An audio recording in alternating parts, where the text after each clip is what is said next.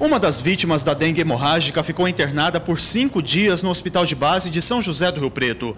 Trata-se de um homem de 61 anos, portador de insuficiência renal crônica. Ele morreu no último dia 6. A outra vítima foi uma mulher de 84 anos. Ela apresentou os primeiros sintomas em dezembro do ano passado e morreu no dia 26 de janeiro. Mas o laudo apontando que a causa da morte foi a dengue ficou pronto só agora. A preocupação das autoridades de saúde é que os idosos que apresentem outras complicações estão mais suscetíveis à dengue hemorrágica. Eram pessoas idosas que tinham outras doenças pré-existentes e isso contribuiu para o agravamento do quadro de dengue.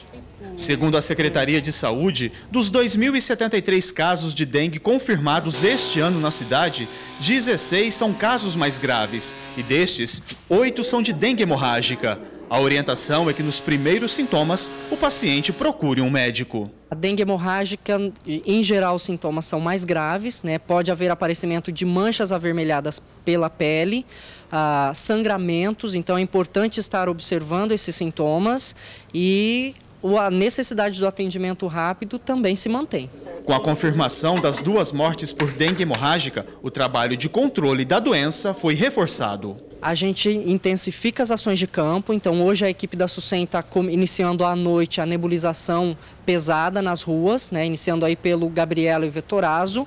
As equipes de pulverização de casa em casa já estão em campo e a gente continua com os agentes em campo fazendo os arrastões, a, a limpeza uh, dos domicílios. E lógico que é extremamente importante para que juntos nós consigamos controlar a doença, a participação e envolvimento de todos.